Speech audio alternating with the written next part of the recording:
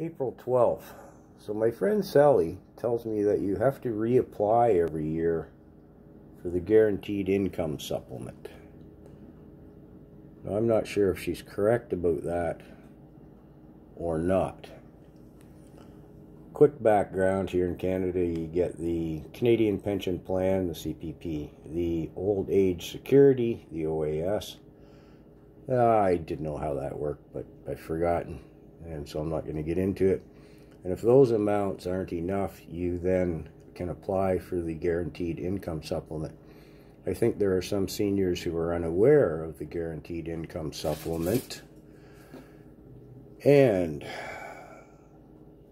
the thing is, it runs from July to July rather than April to April with your income tax. So if you don't file by April 23rd, you won't receive it for a whole another year and a quarter.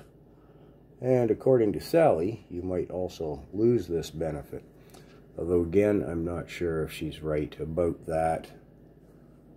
But if you only have the CPP and the OAS, well, you need the GIS and you don't want to be missing out on it. So, for whatever it's worth, and there's the phone number again.